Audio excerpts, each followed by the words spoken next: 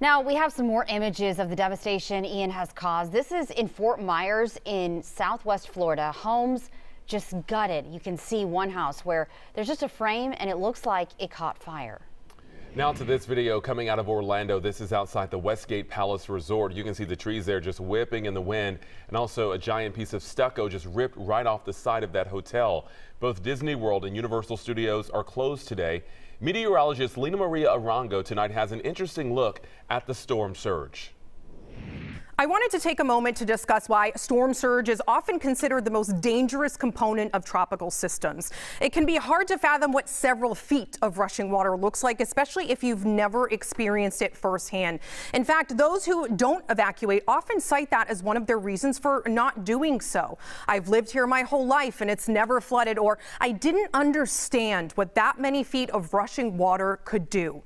I'm going to use this lift to hopefully create some perspective. Rushing water is both extremely powerful and extremely dangerous. It only takes six inches of moving water to knock a grown adult off their feet, and it exploits structural weaknesses, which is why it gets inside. Water flowing at just a few miles an hour can create as much force as tornadic winds, and it always comes in much quicker than it goes out. I'm going to take a moment to raise this lift to 7.12 feet, the height of the storm surge in Fort Myers from a then Category 4 Hurricane Ian, which was more than double the previous record for that area. This can happen very quickly, creating life-threatening situations. And in single floor dwellings, there is no higher ground. You will unlikely survive a swim to safety as storm surge can extend for miles. And in addition to the brute force of the rushing water, debris and animal life can be present in that water in addition to all of the threats occurring overhead.